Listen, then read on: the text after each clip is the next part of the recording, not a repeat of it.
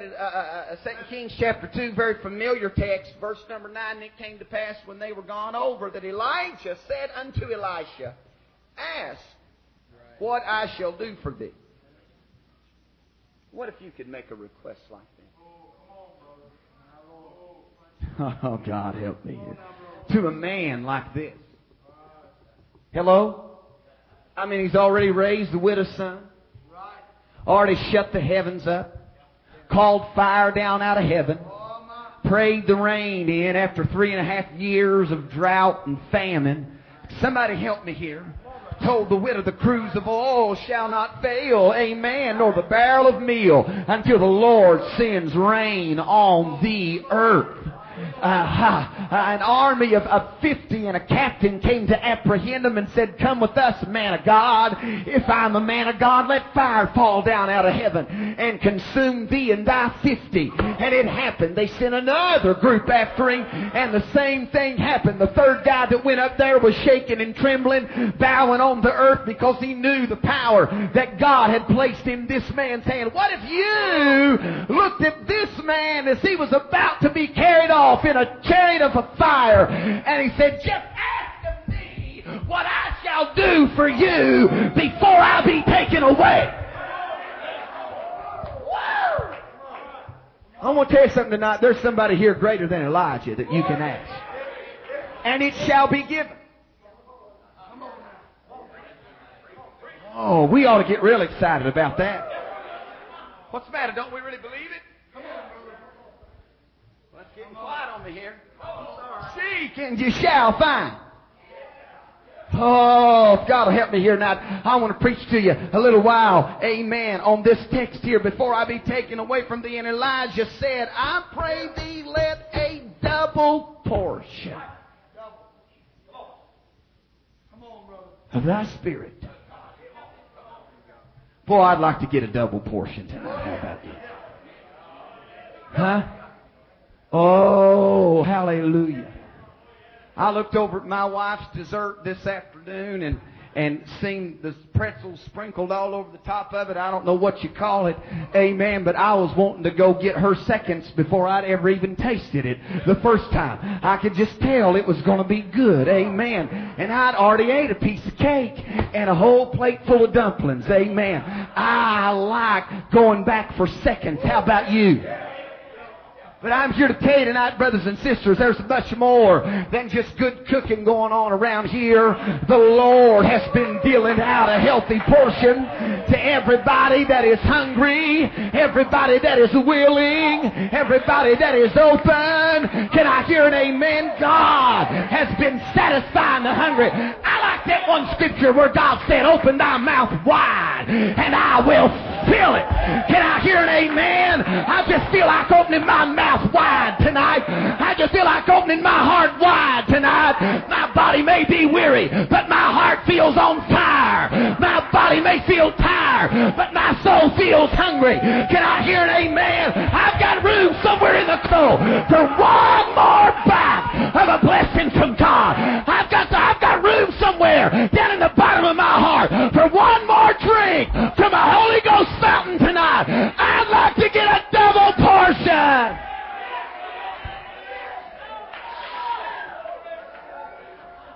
Oh, oh, God, help me to preach to your people here tonight.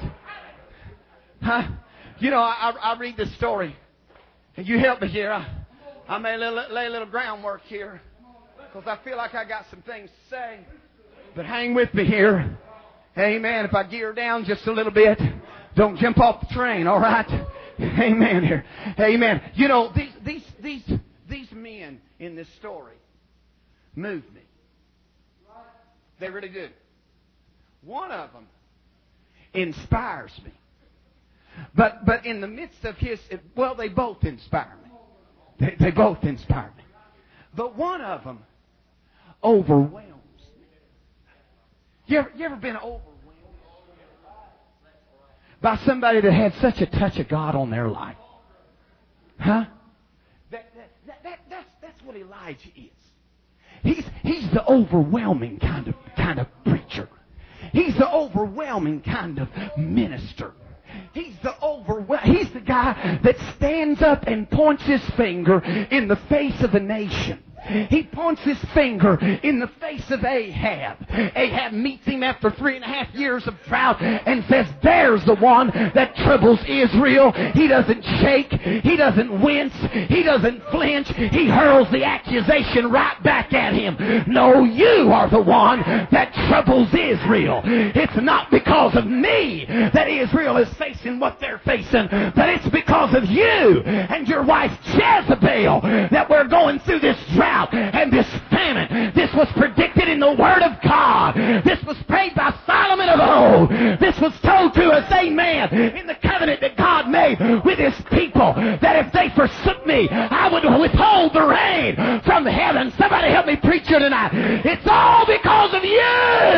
this Elijah. Oh, I'm trying to preach to you. Pray for me. I don't preach too long here tonight. I, re- I really don't. I really don't feel like I'm going to. Amen. But I've, I've just got some stuff on my heart. If God will help me get it off here the way He wants it to. What a man of God. Huh? What? What? You know, Adam Clarke said there's a legend about Elijah that that he really wasn't a man. He was just an angel in human form.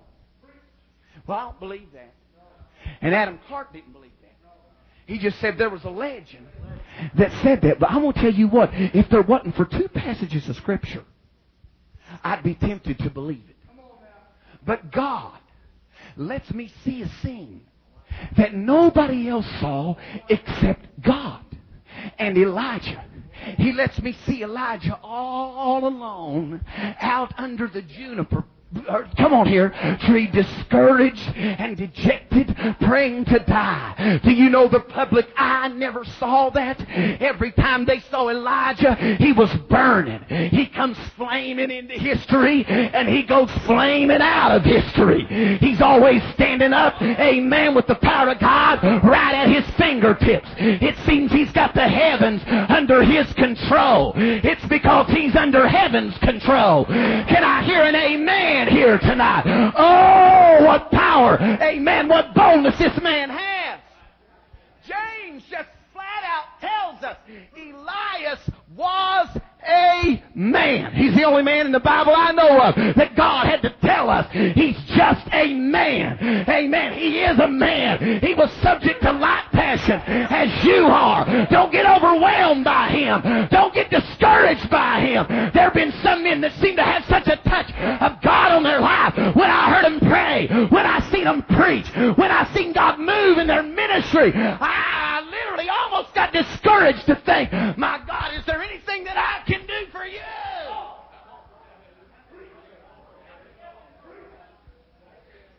And that's where this other guy comes in. He's the one that encourages me. I don't know who Elijah's daddy is. I don't know who his mommy is. I don't know where he came from. He's a Tishbite, wherever Tishbe is.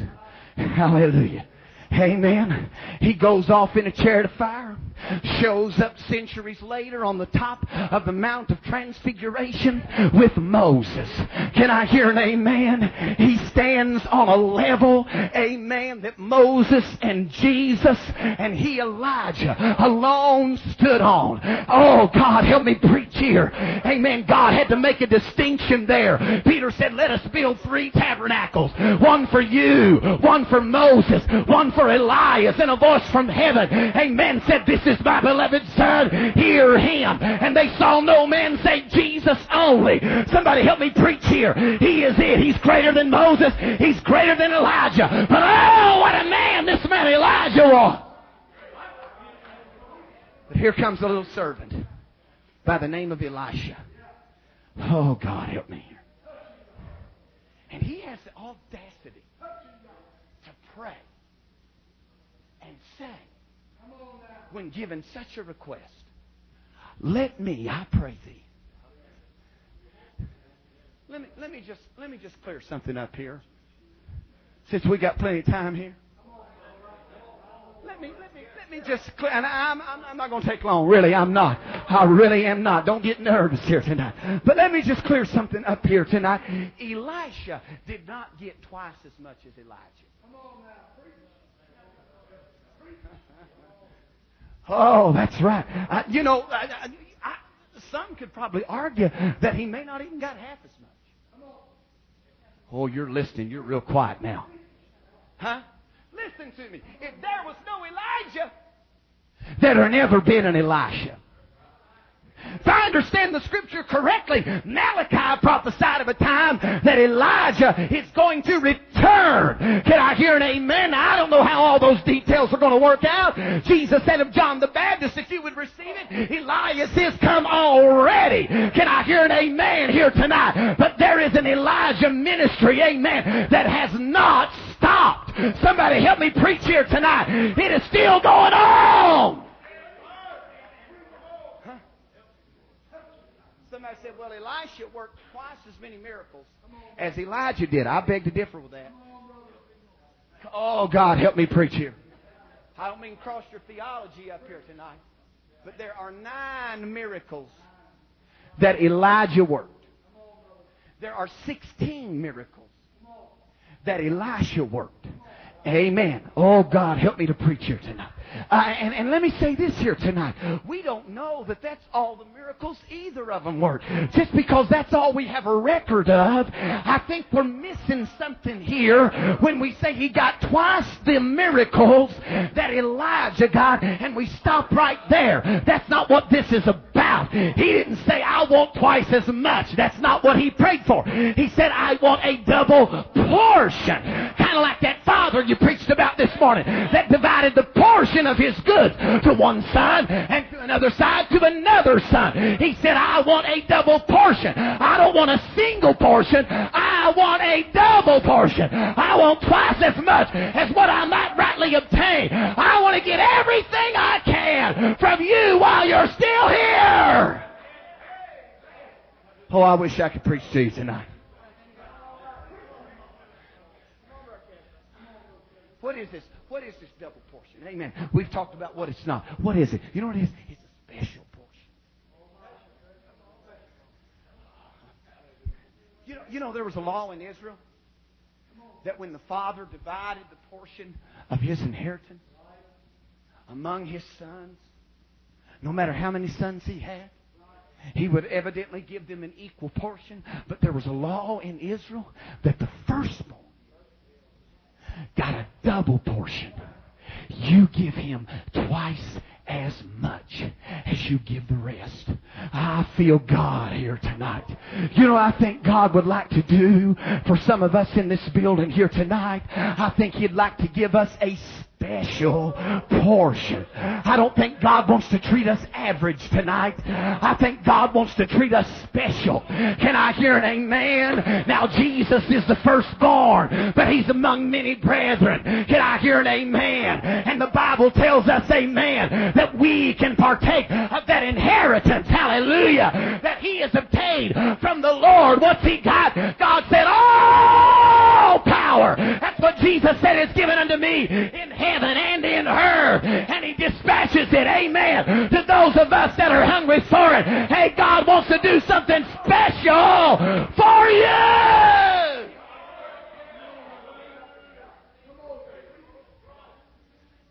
I sure would like to see somebody get the Holy Ghost tonight.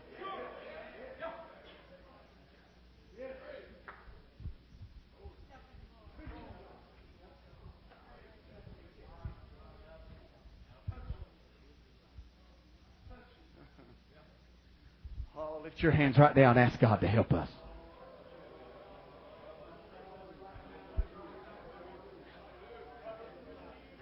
Oh God. Oh God. Oh God. Oh God. Listen to me tonight, brothers and sisters. I'm going to tell you why Elijah got a double portion. Because he had a double desire. You know, he wasn't the first man to have this possibility in his life. I read about another servant that Elijah had. And when he got discouraged and went under the juniper tree, amen, that servant did not follow him from that point on. Oh, God, help me here. Now, there's something about Elijah here. You know, he'd get into a, a state of mind that he just kind of wanted to be alone and just leave his servant uh, aside there. And so one day, he does that to Elisha too.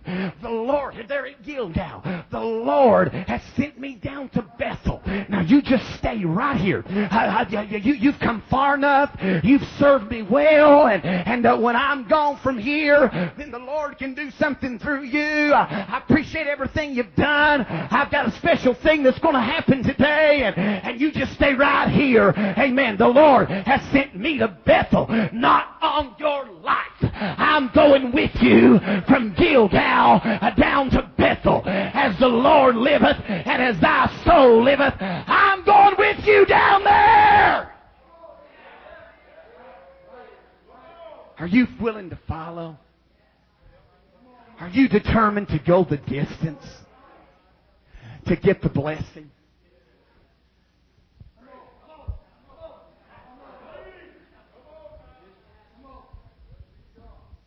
We can have two altar calls in one service.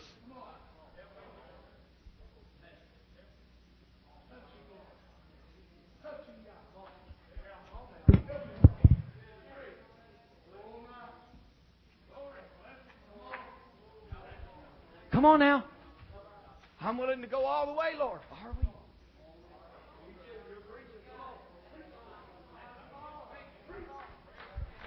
Just stay there then. Just stay there.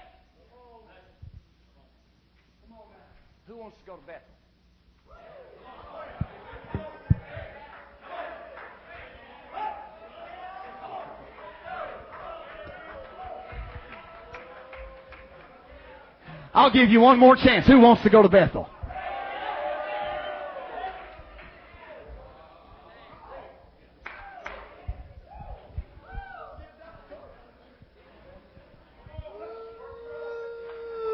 God help me here tonight.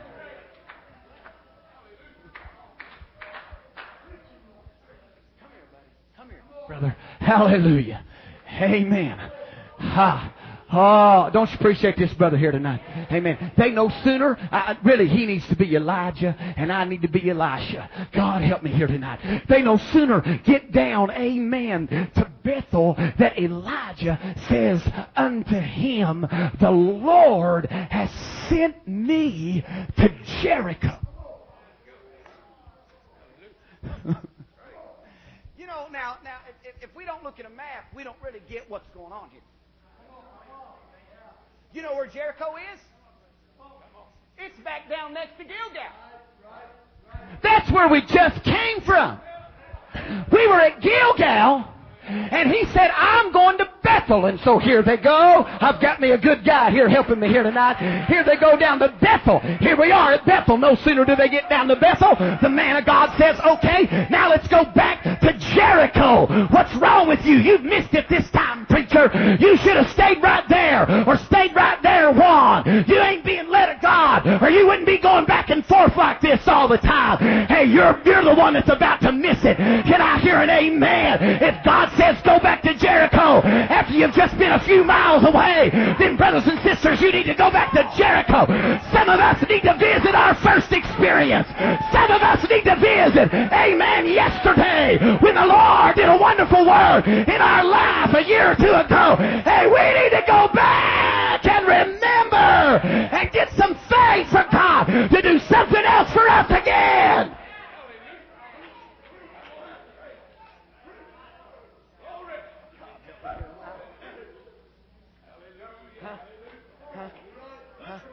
Are, are, are, you willing to follow? Are you willing to do what God says? Even when you don't understand? Hello? You know, you know, we used to we used to have churches where where God dealt with folks' hearts, and and you didn't have to preach a five point sermon on some issue for them to lay it down and get closer to God. Now you can preach five five point sermons on it, and they're still thinking about it and saying God hadn't dealt with me about it, and it's plain as it can be in the Word of God. Hey, hey, I need somebody, amen, who's willing to go the distance. That's the one that's going to get the double portion. You just stay down there in Gilgal and keep your single portion if you want to. But I'm looking for somebody that wants a double portion.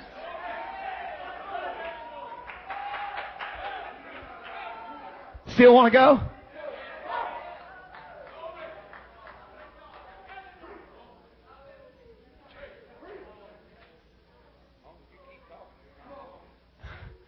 The Lord has sent me across Jordan. Don't you know that the Lord's going to take your master from your head today? Hold your peace. Don't talk to me about that. That's not what I've got in view. Oh, God, help me here tonight.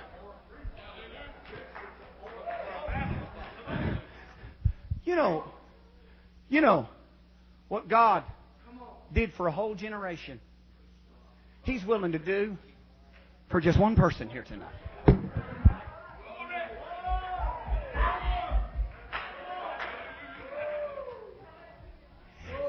He didn't divide Jordan for Elijah. He was getting ready to leave. This wasn't doing anything for Elijah. No, that wasn't for his benefit. It was for Elisha. Somebody help me here tonight. What he done for a whole generation in Joshua's time, he's doing for one who's hungry right now in his day. Hey, I'm going to tell you what, we've heard a lot about the revivals of yesterday, but I want to tell you what the God of yesterday is still the God of today. And what he did in 1920 and 1930 and 1940 and 1950 and 1960 and 1970 and 1980 and 1990. He's still doing it in 2003. He'll do it for you. The stories of a past generation can be your own personal story. You can have your own upper room. You can have your own Pentecost. You can get it tonight for you.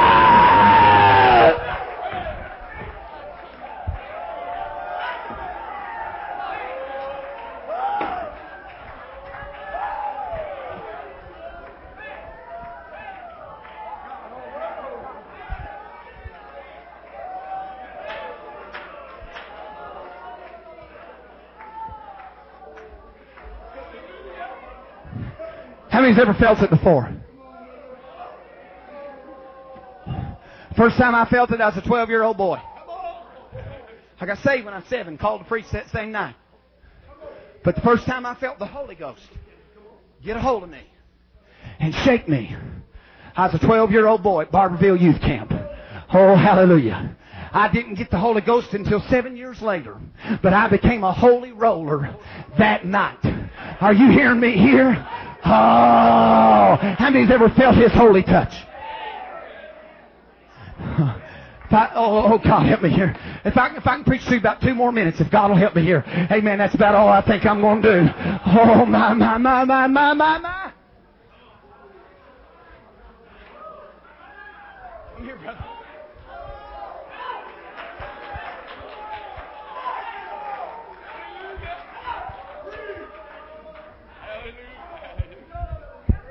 You're Elijah. He made a good Elisha. We'll let him be Elijah now. You know, you know, Elisha's out there plowing. Twelve yoke of oxen. His mind's on his inheritance. He's uh, probably the eldest son of his daddy. Uh, he's not a lazy man. 12 yoke of oxen are out there and he's plowing with one of those yoke. Hallelujah. Out here, you know that's who God gets is somebody that's doing something where they're at. I feel the Holy Ghost here tonight. And while he's there, Elijah comes and he don't even stop. He just walks right on by him. But as he walks on by him, he casts that mantle on him. Cast that mantle on me here, Elijah. And he walks on by. And he runs after him. That's how I know he kept walking, because the Bible said he ran after him, and he grabs a hold of him. Wait just a minute here. Wait just a minute here. Let me go tell my mama goodbye. Let me go kiss her goodbye. Let me tell my daddy goodbye. Let me burn my plow. Let me kill my oxen, and I'll be right back. What I felt right here is worth more than anything that I've got hopes of inheriting in my father's house. I'll gladly trade all this field and all this inheritance to have another touch of what I've just felt.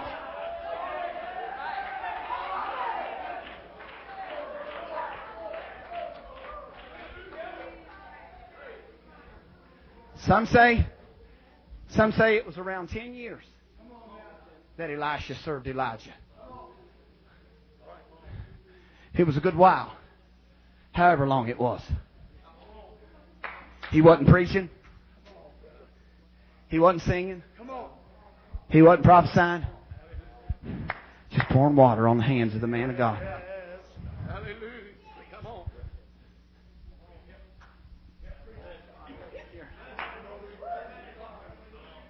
But one day, what do you want? The Lord's getting ready to take me.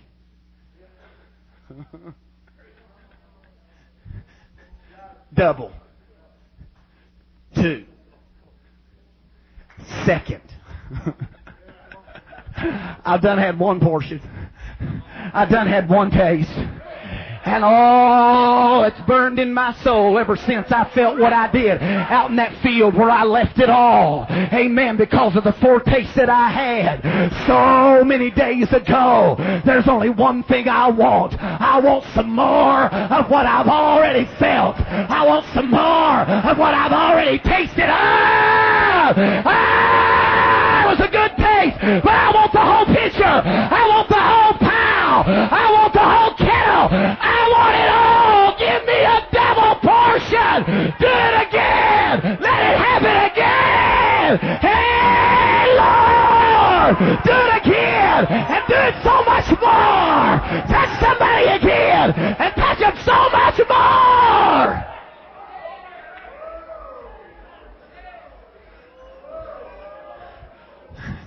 Lift your hands all across this building here tonight.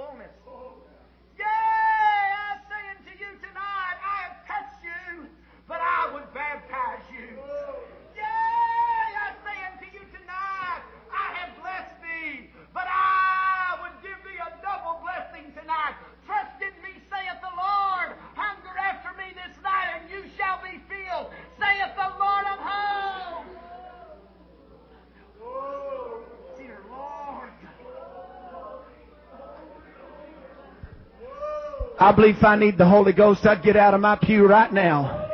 And I'd get up to this altar as quick as I could. And I'd throw my hands up and my head back and my heart open. And I'd believe God. I believe God. I believe God was willing to do it for me.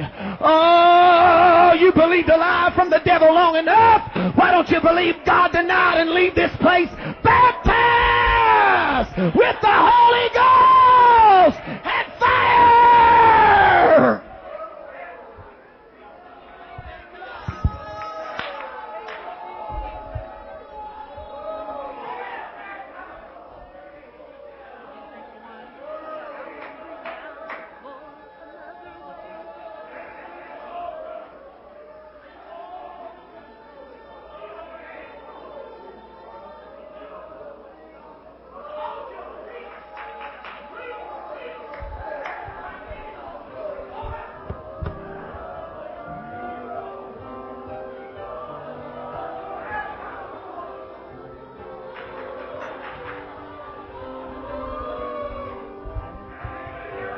They've walked through dry and barren places.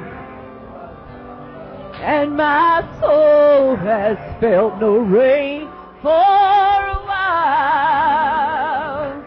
I believe in the widow's empty barrel, for she had faith enough to bring a vast supply.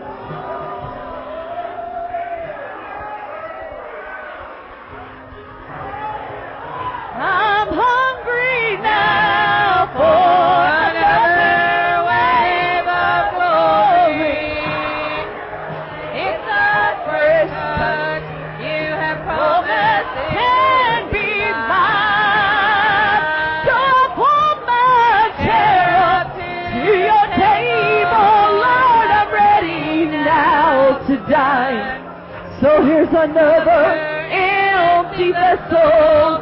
Fill it, Lord, another time.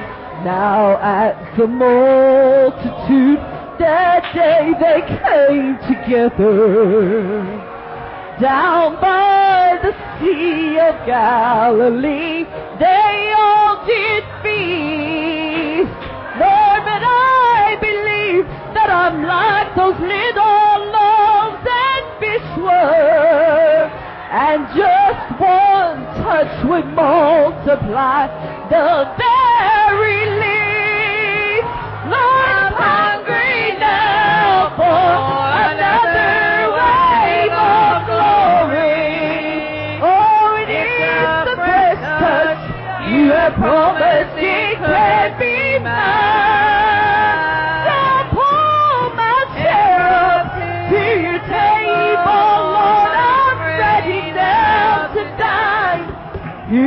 another wave.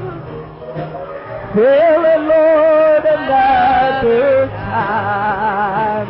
Lord, I'm hungry now for another wave of glory. Oh, it's a fresh touch. You promised it can be mine.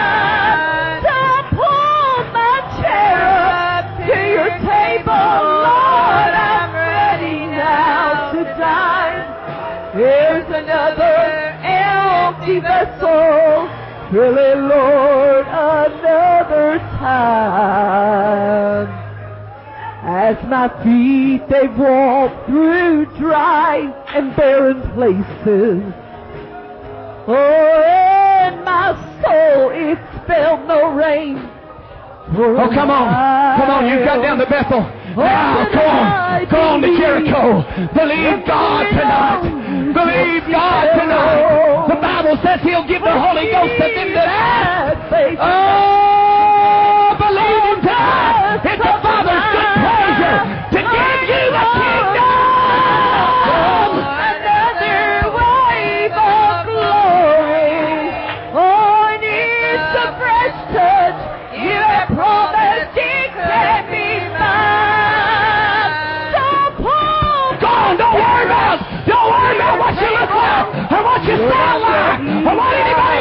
naked. Just make your mind up. I'm going to get it. Amen. For the glory of God.